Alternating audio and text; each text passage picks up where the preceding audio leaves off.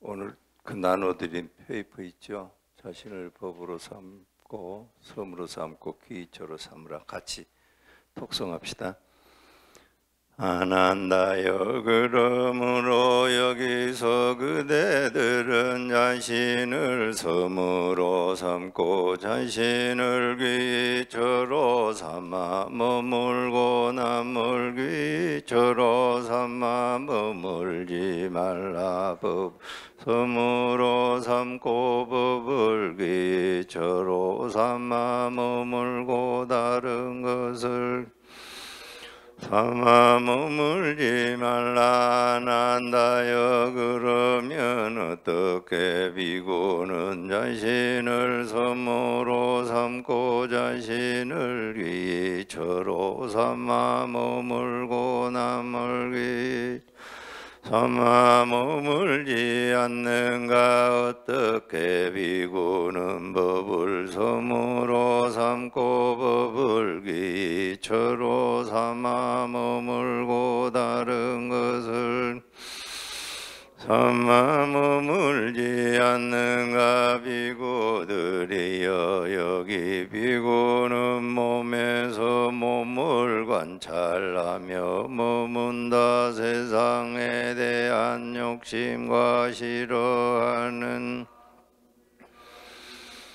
분명하게 분명하게 알아차리고 마음 챙기는 자 되어 머문다. 느낌에서 느낌을 관찰하여 머문다. 마음에서 관찰하며 머문다 법에서 법을 관찰하며 머문다 세상에 대한 욕심 싫어하는 마음을 버리면서 근면하게 분명하게 알아차리고 마 챙기는 자 되어 머문다 안 한다여 이와 같이 비고는 섬으로 삼고 자신을 귀처로 삼아 머물고 남을 귀처로 삼아 머물지 않는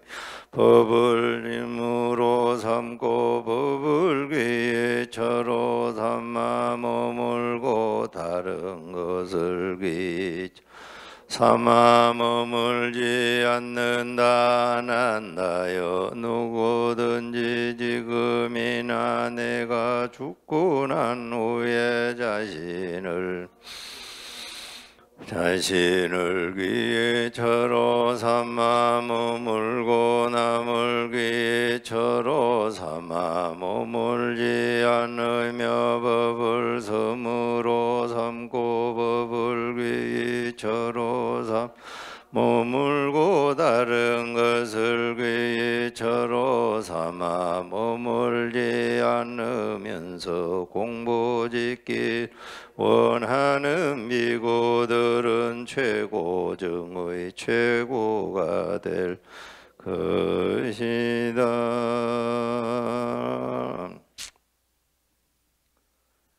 네, 안녕하세요. 편지 편지 오래죠? 유료법에서 편지가 한 반년 된 것 같아요. 반년 됐죠? 10월에 뵙고 지금 못 뵀으니까 오래됐습니다. 안녕들 하셨죠? 내가 그때는 뭐 코로나다 어쩌다 해서 세상이 어찌저러나더니 지금은 이제 코로나 뭐 이런 얘기는 별로 안 하는 것 같아요. 그죠? 예? 예. 세상 속에 세상 세월을 이길 수 있는 것은 아무것도 없죠. 그죠? 세월을 이길 수 있는 건 아무것도 없어요. 오늘 소개해 드린 것은 자신과 법을 섬으로 삼고 귀처로 삼으라. 여기서 섬으로 삼는다는 것은 바다를 항해하는 자들이 요즘은 뭐 어 그 동력을 뭐 기계에서 음, 만들어내서 가니까 그렇지만 전에는 바다에 배가 가려면 사람이 노를 저어야 가잖아요. 바다에 노젓는 사람이 피, 피곤하고 지쳐 있는데 그 사람이 좀 쉬고 싶으면 어떻게 쉬겠어요? 가만히 있으면 표류하죠. 섬이 있어야 섬에 배를 대놓고 쉴 수가 있죠. 그때의 섬입니다. 이 섬. 어, 부처님이 마지막 열반의 길을 가시면서 바이샬리 한역 경전에는 비사리 성이라고 그러는데 바이샬리 성을 떠나서 부처님이 이제 쿠시나가라로 가는 거예요. 가는 도중에 이틀 밤을 자고 세 번째 밤에 부처님께서 제자들한테 아난다를 비롯한 제자들한테 했던 법문입니다. 이게 북방에 우리들에게 알려져 있기는 뭐 많이 이, 이 들어봤던 말일 건데 자등명, 법등명 그 법문이 부처님의 열반경 마지막 열반의 여정길에서 세 번째 날에 했던 어, 법문입니다. 여러분에게 소개를 해드렸습니다. 핵심의 내용은 어, 자기 자신을 믿고 자기 자신을 의지처로 삼아라. 법을 의지처로 삼아라. 뭐 이런 얘기죠. 이런 얘기가 전제가 되는 것은 부처님께서 이제 열반의 길을 간다고 하는 것이 전제되어 있습니다. 열반의 길을 가니까 부처님은 이제 열반에 드시죠. 열반에 드시고 나면은 이거 누구한테 의지해야 됩니까? 이런 어, 그 위기감, 뭐 그런 생각들이 제자들한테 팽배해 있었어요. 그 제자들한테 부처님께서 이렇게 예, 말씀을 하신 겁니다. 너희들 자신을 믿고 너희 자신을 의지처로 삼고 법을 믿고 법을 의지처로 삼아서 살아라. 뭐 이런 얘기죠.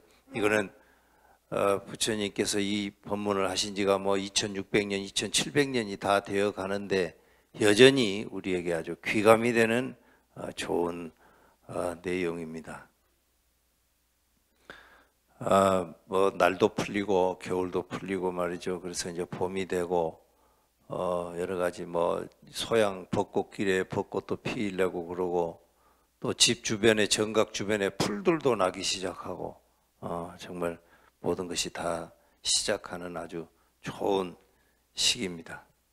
국가와 뭐, 어, 뭐 세계도 이런 봄 기운과 더불어서 어, 과거의 것들을 바탕으로 해서 새로 발전하는 우리 모두가 서로 평온하고 우리 모두가 서로 자유로운 해탈의 길로 갈 수 있도록 이 세계도 어, 발전해 갔으면 좋겠습니다. 아, 거기 아, 내가 그 나누어드린 이 종이 잠깐 좀 보면서 내용은 내용을 조금만 좀 봅시다. 이 내용 여러분들 자등명, 법등명 이야기를 어디서 많이 들었을 건데 이게 이것에 대해서 한번 눈여겨 살펴볼 필요가 있어요. 아난다여 부처님의 제자지요. 부처님의 상수제자, 부처님의 사촌입니다. 여기서 그대들은 자신을 섬으로 삼고 자신을 귀처로 삼아 머물고 남을 귀처로 삼아 머물지 말라. 이제 이런 말들이 참 그 교훈적인 말이고 정말 좋은 말인데 요즘에는 보면은 어 뭐 세상이 너무 이제 자기 자신을 믿고 자기 자신만을 위해서 사는 각자 도생하는 시대가 돼버려 가지고 이 말이 오해될 수도 있는데 그죠? 이 말은 아까 말씀드린 바대로 부처님이 열반에 드시려고 하는 그런 위기의식이 팽배한 속에서 나온 말입니다. 요즘에 세상에서 무슨 각자 도생해라, 뭐, 미국은 미국대로, 일본은 일본대로, 한국은 한국대로 서로 자기 이익을 막 극대로 추구하고, 어, 남이 어떻게 되든지 말든지, 에? 예? 그런 이기주의적인 방식으로 세상 사는 것을 권장한 게 아니라 내가 죽더라도 내가 죽더라도 너희들은 너희 스스로를 믿고 의지해라. 이런 말이요. 부처님께도 뭐 다 이기주의적으로 살으라고 자기 자신을 믿고 의지하라고 그러지 않았어요. 이런 생각은 하지 말라 이 말입니다. 네. 이게 여기서 나온 말이 이제 자등명입니다. 자등명. 여기에 등불이라고 하는 것이 그 한문으로 써져 있는데 등불이라고 하는 거. 이 말이 그 인도 말에는 이게 뒤이빠라는 말인데 등불 뒤이빠. 뒤이빠라는 말 등불이라는 말인데 등불이라는 등불이 등불이 켜지면은 그 등불이 누구는 이쁘니까 빛, 뭐 등불을 주고 누구는 미우니까 등불을 안 주고 그러지 않잖아요. 차별이 없는 거죠. 하늘에서 내리는 비도 법화경에도 있듯이 하늘에서 내리는 비도 모든 것을 평등하게 이렇게 내려 내- 비가 이렇게 내리는 거 아니에요? 어. 누구는 미우니까 뭐 어? 저 집에는 비 안 내리고 다른 집에만 내려줘야 되겠다 하고 비가 그렇게 하는 것은 아니죠. 이 등불도 그러는 거예요.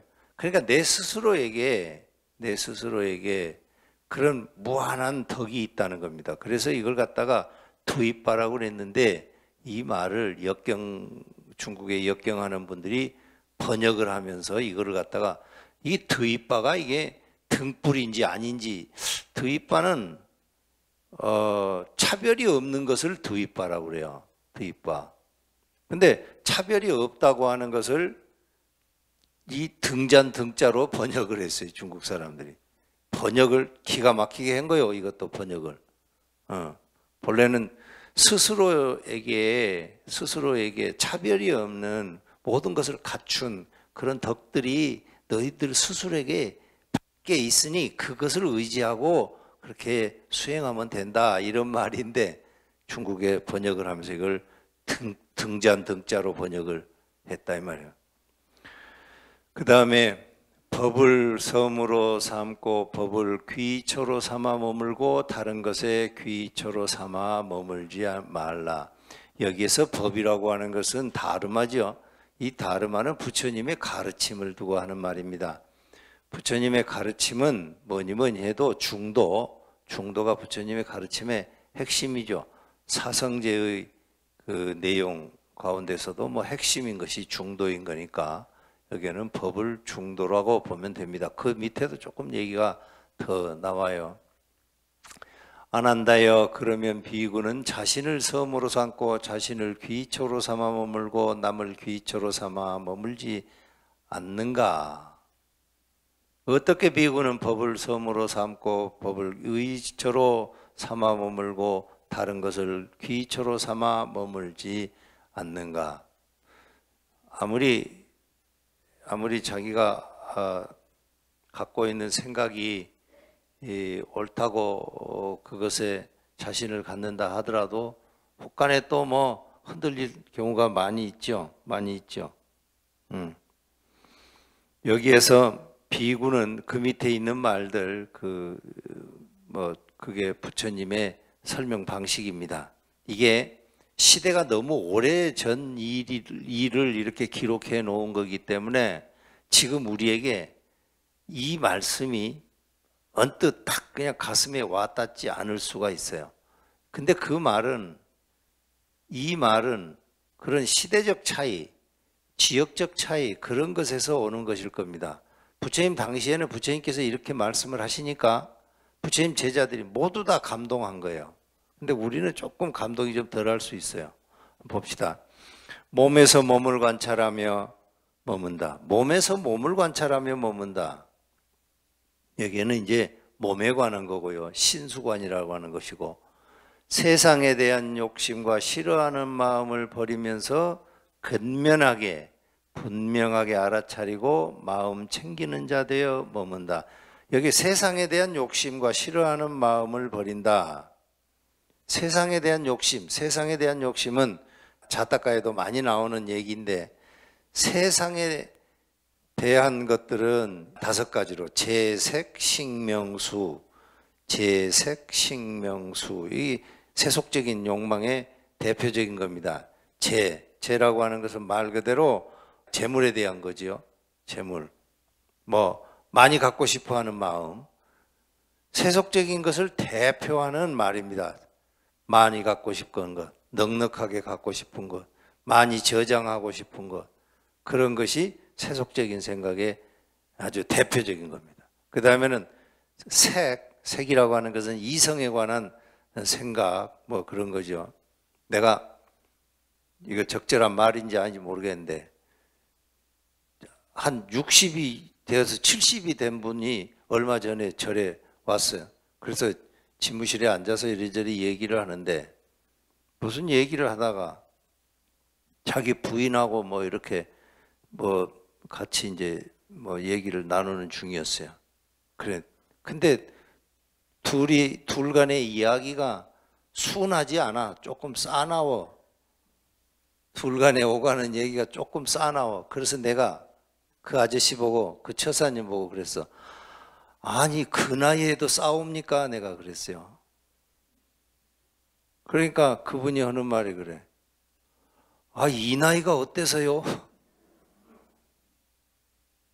그러니까 나이가 70이 다 되는 분인데도 자기 부인을 이겨 먹으려고 그렇게 하더라고요. 여기 있는 분들도 그래요? 홍 회장님, 유 회장님, 절대 이겨 먹으려고 하면 안 됩니다. 그거. 이겨 먹으실 수도 없는 거고, 이겨 먹으려고 하는 순간 그 사람은 곧바로 대안을 찾아서 또 공격해 옵니다. 그러니까 이기려고 하지 마세요.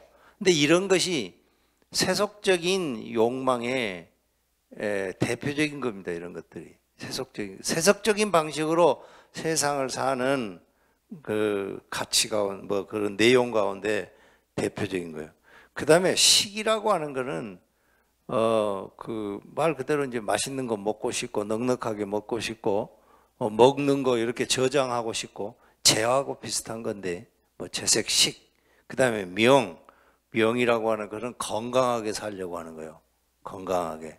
건강하고자 하는 생각. 건강하고, 건강하게 살고 싶자 하는 생각이 없는 사람, 한 사람도 없잖아요. 그죠? 한 사람도 없는 거예요. 그러니까 이런 게 다 세속적인 에, 삶의 에, 대표적인 뭐 내용들이라는 거죠. 그 다음에 수라고 하는 것은 오래 살고 싶어 하는 거. 오래 살고. 오래 살고 싶어 하는 거. 여러분들도 내가 이렇게 얘기하지만 이게 세속적인 가치라고 얘기를 해도 여러분 마음속에는 아이고 뭐 채색 식명수 그거 다섯 가지 다 좋은 거 아닙니까? 이런 생각할 건데 그렇죠? 이 나쁜 거는 아니잖아. 나쁜 거는 아닌데 온전히 여기에 갇혀서 살아버리면 많은 걸 놓칠 수가 있는 거예요. 많은 걸 놓치는 것이 뭔가 자등명 법등명 못하게 하는 것이에요 여기에. 그래서 이제 부처님 말씀하는 거예요. 세상에 대한 욕심을 버려라. 재색 식명수에 대한 욕심을 버려라는 거예요, 이게. 그 다음에 싫어하는 마음을 버리면서 사람의, 사람이 살아가면서 자기한테 괴로움을 주는, 자기에게 괴로움을 주는 가장 근본이 되는 것이 싫어하는 생각을 일으키는 거예요. 싫어하는 생각. 싫어하는 생각. 싫어하는 생각에 그 바탕에는 뭐가 있는가? 싫어하는 생각. 자기가 여태까지 경험해온 자기 방식이 있어요. 그 자기 방식에 맞지 않으면 싫어하게 돼 있어요. 네. 부처님이 돌아가시고 나서 한 500년쯤 지나면은 세친이라고 하는 어, 분이 계시는데 그분이 이 싫어하는 마음 이거를 쭉 이렇게 분석해서 여러 가지 얘기를 많이 설명을 해 놓으셨는데 그 근본에는 자기가 여태까지 경험해 온 것을 바탕으로 해서 그것과 충돌될 때 그거를 거부하려고 하면서 싫어하는 거예요. 아, 이게 싫어하는 마음을 버리라는 거예요. 세상 삶 사람은 어, 이두 가지를 염두에 두셔야 됩니다. 다시 얘기합니다. 세상에 대한 욕심을 버리고 그 다음에 스스로 마음속에 싫어하는 마음을 버려 싫어하는 마음을 버려 그렇게 해서 느낌에서 느낌을 관찰하고 마음에서 마음을 관찰하고 법에서 법을 관찰하고 그렇게 머문다. 아, 늘 여러분들에게 시간이 기회가 될 때마다 강조했던 말입니다. 세상을 사는 가장 지혜로운 어, 방식은요. 가장 지혜로운 방식은 느낌을 잘 조절하면서 사는 것이 가장 지혜로운 겁니다. 느낌만 여러분들이 잘 조절하면서 살면 아마 여러분들이 하고자 하는 일 가운데서 대부분이 다 이루어질 거예요. 느낌을 조절하면서 느낌을 순하게 가지면서 살면 모든 것이 아마 거의 다 이루어질 거예요. 왜냐하면 세상 일은 관계 속에 있기 때문에 그래요. 관계 속에 있는 것이기 때문에 내가 느낌을 잘 순하게 조절하고 있으면 사람들이 전부 내 편이 돼요. 내 편이 돼. 근데 느낌을 나같이 쌀쌀맞게 가지면 사람들이 오다가도 다 가버려요. 도와주러 왔다가도 가버려요. 느낌을 순하게. 그게 어려운 일이죠. 그게 어려운 일. 느낌을 순하게 갖는 것을 갖다가 중국에서는 덕 있는 사람이라고 그럽니다. 덕 있는 사람. 덕. 덕이라는 말도 애매한 말이잖아요. 애매모호한 말이잖아요. 느낌이 순한 사람. 예.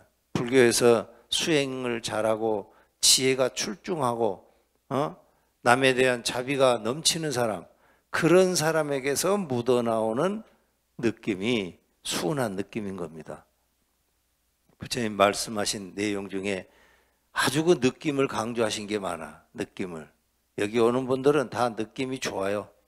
예. 나도 여러분들한테 많이 배워야 되겠어요. 음. 나는 지금까지 살면서 정말 제일 듣기 싫은 말이 하나 있는데요. 사람들이 날 보고 느낌 왜 그렇게 쌀쌀 맞아요? 왜 그렇게 인정머리가 없어요? 이런 머리, 이런 말 아주 듣기 너무너무 싫어요. 근데 그런 말을 나한테 참 많이 해요. 나 많이 들어. 그래 늘 그 신경 씁니다. 그래도 그래도 그렇게 신경을 써도 그 내 느낌이 그렇게 순하지 않은가 봐. 얼마 전에도 아주 우리하고 가까이 지내는 분인데 가까이 왔다 갔다 하는 분인데 그 사람이 뭐 큰 스님한테 뭐를 하러 왔어요. 하러 왔는데 내 눈에 또 거슬렸는가 봐. 그러니까 거기다가 한마디를 내 질렀는데 그 사람이 아이고 다시는 주지심 앞에 가기 싫다고 그러더래. 그래서 그 말을 듣고 며칠 동안 고생, 고민을 했어요. 하, 내가 나이가 이 나이가 됐는데 아직도 사람들한테 쌀쌀맞게 그렇게 말을 하는가? 응? 여러분들은 그러지 마세요. 어. 그렇지 않은 인간으로 사는 것이 불교적인 인간입니다. 불교를 하는 이상 불교가 우리들에게 가르치고 있는 아주 그 풍성한 덕도 있고 지혜도 있고 다른 사람에게 대한 연민이 넘치는 그런 인간으로 우리가 살아야 되지 않겠어요? 그죠? 그런 인간이 불교적인 인간입니다. 그런 인간이 불교적인 인간. 불교적인 인간의 핵심의 내용은 느낌이 순한 인간이다. 아시겠지? 예. 네. 근데 중들은 전부 느낌이 순하질 않아요. 대개 보면 다 그래. 음, 말만 하지 그게 쉽지 않아요. 그렇지 않겠어요? 인정에 끄달리고 뭐 이러는 것들도 있지만 내가 가만히 생각해 보면 보세요. 내가 16에 절에 왔는데 16에 어머니하고 빠이빠이 하고 절에를 올 때 그 과정이 순했겠어요? 얼마나 힘들었겠어요. 그래도 끝끝내 그걸 이겨먹고 온 거예요. 그죠? 그러니까 느낌이 순할 수가 없지. 음. 그러니까 스님들한테 느낌이 순한 것은 적당히 기대하세요. 그리고 스님들을 보고는 느낌이 아주 싸납다 그러면 아 나는 저렇게 안 해야 되겠다. 에? 그걸 배우시라고. 그 다음에 세상에 대한 욕심과 싫어하는 마음을 버리면서 근면하게 분명히 알아차리고 마음 챙기는 자 되어 머문다. 부처님이 하신 말씀 가운데서 방일하지 말아라 이런 말씀이 많습니다. 방일하지 말아라. 방일하다는 말은 넉넉히 시간 보낸다는 말이요. 어, 노을 방자에다가 그냥 그 노을 일자를 쓰는 거예요. 놓아버려. 뭘 놓아버려? 자기 의지를 놓아버리는 거예요. 뭘 하고자 하는 그 자기 마음속에 있는 인텐션을 놓아버리는 거예요. 그리고 뭔가, 그리고 그냥 시간을 보내는 거예요. 요즘 말로 하면 게으른 거예요, 게으른 거. 방일 하지 마라. 근데 거기 게으른 건가? 멍 때리는 거예요, 멍 때리는 거. 그거 하지 말라는 말씀이 부처님한테 많아요. 제자들한테 했던 말 가운데서 방일하지 마라, 방일하지 말아라. 그런 얘기 많은데 여기에서는 그 표현을 안 쓰고 여기에서는 근면하게 에, 지내라. 뭐 이렇게 해놨어요. 성실하게 지내고 근면 성실. 뭐 요즘도 지금 세상 살아가는 사람들의 삶의 자세 가운데에서 핵심적인 내용 아니에요? 어린애들 여러분들 낳아서 애들 키우면서도 성실해라, 근면해라, 성실해라, 근면해라 얼마나 많은 말을 했겠어요? 그죠? 어, 부처님도 마찬가지예요. 이렇게 사는 것이 불교적인 인간이다. 명심하시기 바랍니다. 그 밑에 있는 내용 그렇게 살면 비구들은 최고 중에 최고가 될 것이다. 그렇게 사는 인간이면 그렇게 사는 인간이면 최고 중에 최고가 될 것이다. 그렇게 사는 인간이면 인간 가운데 최고 중에 최고가 되는 거예요. 그러니까 자기가 하고자 하는 일이 있으면 그 마음을 아 내가 이걸 좀 해야 되겠다고 마음을 일으키면 내 주변에 있는 친구들 뭐 아는 사람 모르는 사람들이 한 번 본 사람 열 번 본 사람 전부 와서 나를 돕는 거예요. 왜냐? 나에게서 느끼는 느낌이 그 사람하고 통하기 때문에 그래요. 통하기. 이게 자등명, 법등명에 대한 이야기입니다. 내가 그 오늘 3월 일요법회 하면서 여러분들한테 이 내용을 뽑아 갖고 왔고요.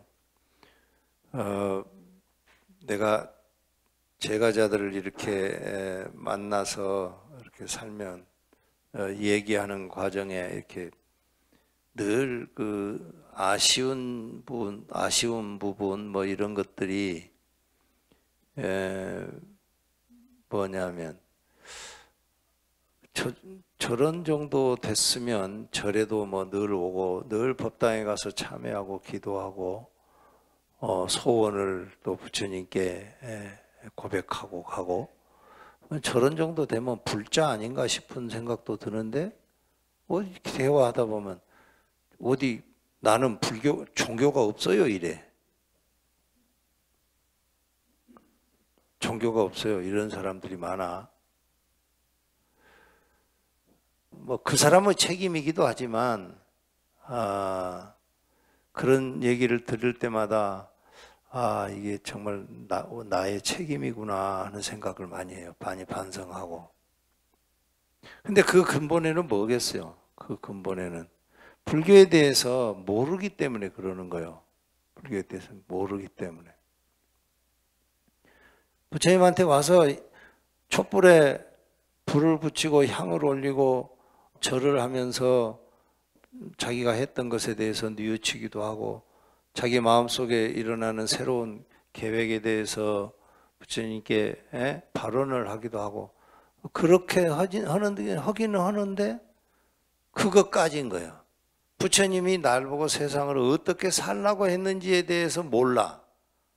어떤 인간으로 세상을 살아야 되는지, 어떤 태도로 어, 살아야 되는지, 어떤 가치를 추구하면서 살아야 되는지, 어떤 이상적인 인간의 모델을 향해서 나는 부단히 노력해야 되는지, 이런 것에 대해서 모르기 때문에 아, 나는 종교가 없어요, 이래. 네. 그런 소리 들으면 참 마음이 참 묘하죠. 묘해. 근데 이게 제가자들만 그런 것도 아니죠. 제가자들만. 스님들 중에도 불교의 기본적인 그 원칙들, 이런 것에 대해서 분명하지 않은 거예요. 분명하지 않아. 그러니까 출가해가지고 또 제가에 환속하는 사람이 얼마나 많아요. 이렇게 사는 것이 행복의 길이라고 하는 그것에 대해서 투철하지 않으니까 그런 일들이 벌어지는 거죠. 내가 중이 될 때 일곱 명이서 중 됐어요. 금산사에서 수계식을 하는데 일곱 명이 했어. 근데 내가 나이가 제일 어렸어요.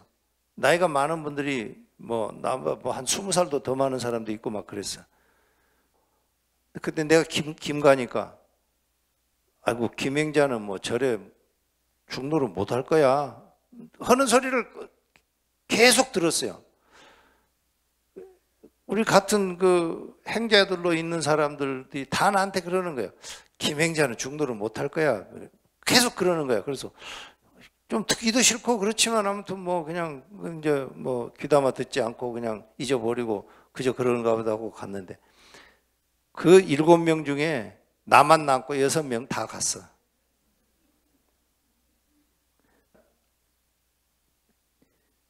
내가 해인사 강원에서 한 뭐 한 11년, 12년 내가 우리 스님들을 이렇게 지도하고 가- 그렇게 해서 내보냈는데 그 스님들이 줄 잡아 뭐 한 한 500명은 될 거예요. 그 스님들이 500명을 가르쳤어.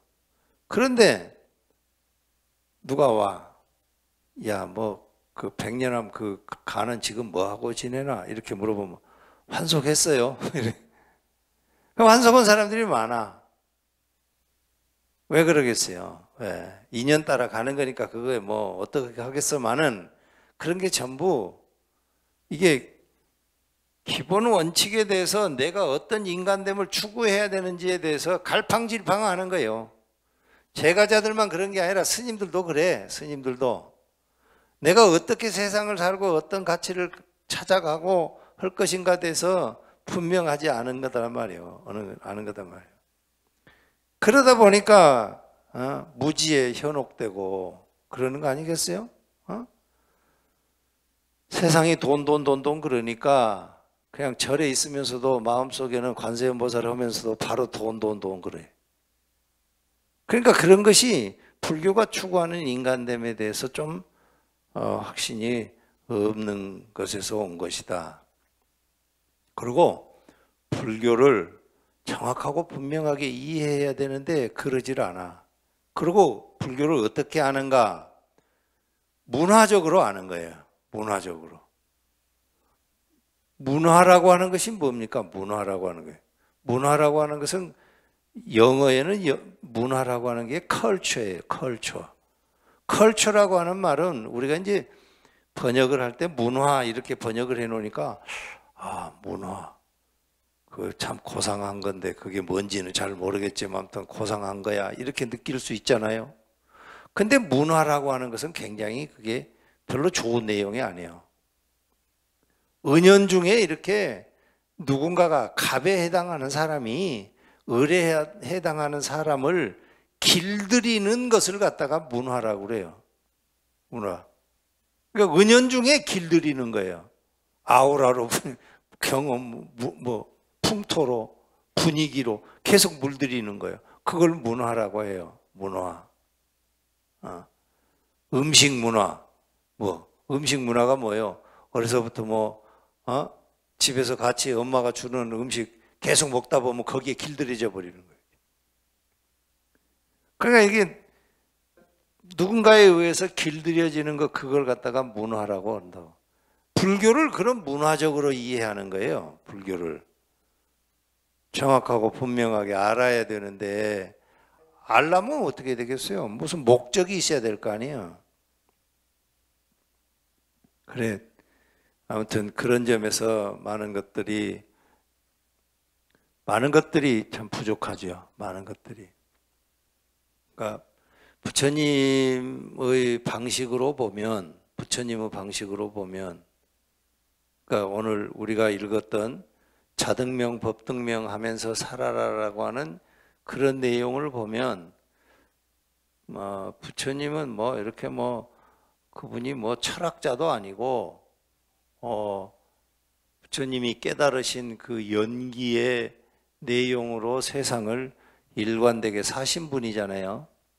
근데 그 살아가신 부처님의 삶의 방식이 당시 사람들한테 크게 감동을 주었고 감명적이고 저렇게 삶으로 해서 행복해지겠다고 사람들이 에, 믿고 따르고 그러다 보니까 이제 뭐 부처님 제자들도 많이 생기고 그러했죠.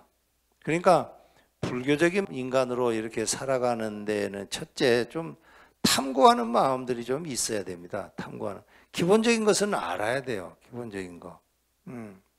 그게 아주 중요하고요. 그 다음에 좀 이렇게 열린 마음을 가져야 돼요. 열린 마음. 열린 마음을 가져야 돼요. 거기 오늘 읽은 것 중에도 그런 얘기 있잖아요. 뭐, 어? 어. 뭐, 싫어하는 마음을 갖지 말으라고 하는 말 있잖아요. 싫어하는 마음. 어. 그 열린 마음을 좀 가질 필요가 있어요. 근데 부처님의 그 태도 같은 것도 어, 부처님이 뭐 모르는 거 있지 않겠어요? 부처님이 부처님이 모르는 것이 있다 그러면 저 스님은 무슨 스님이 말을 그렇게 하나 또 그럴 수도 있는데 그러지 않겠어요? 부처님 모르는 게 왜 없겠어요? 모르는 것이 있지. 뭐 어, 모르는 게 있으면 뭐 솔직히 모른다고 하고 그 더 생각해 보면 되지 않겠어요? 그러니까 열린 마음을 갖고 그다음에 좀 어, 이성적일 필요가 있겠고 뭐 그렇습니다. 불교는 어쨌든 간에 이게 에, 내 스스로 생각해 하기에 인류가 이렇게 과거로부터 받은 문화유산 가운데서 정말 최고 으뜸의 문화유산이다. 나는 이런 생각에 뭐 확신을 합니다. 어, 왜 그런가? 어, 불교는 법에 의지하는 종교잖아요. 법에 예, 그런 종교가 어디가 있어요? 없지. 일본의 무슨 신도가 그렇습니까? 뭐 중국의 뭐 유교가 그렇습니까? 어? 그런 종교 이슬람이 그래요? 뭐가 그래요? 그런 종교가 없죠. 그런 점에서 아주 그 위대한 유산이에요. 불교를 바탕으로 해서 세상을 살면서 음? 부처님의 삶의 방식에서 우리가 배우는 거, 아 폭력 같은 거 내려놓아야 되겠다. 어? 폭력 같은 거 좀 내려놓고 그 다음에 평화롭게 살아야 되겠다. 남을 미워하는 마음 이런 것들 내려놓고 남과 조화롭게 화합하면서 지내야 되겠다. 관용하는 마음으로 어? 상대방을 너그럽게 이해하는 마음으로 세상을 살아야 되겠다. 이런 태도로 일관되게 세상을 살면 그게 불교적인 인간이다 이 말입니다. 인간이. 그러니까 아, 오늘 3월 일요 가족법회에 여러분들이 오셨는데 아, 부처님의 자등명 어, 법등명의 에, 가르침을 여러분들이 좀 새기면서 그렇게 살았으면 좋겠다. 근데 쉽지 않지만 노력하는 거죠. 그런 자세를 놓쳐버릴 수도 있고 그렇지만 놓쳐버린 줄 알았을 때는 바로 참여하고 다시 그러려고 노력해야죠. 그런 인간이 불교적인 인간이죠.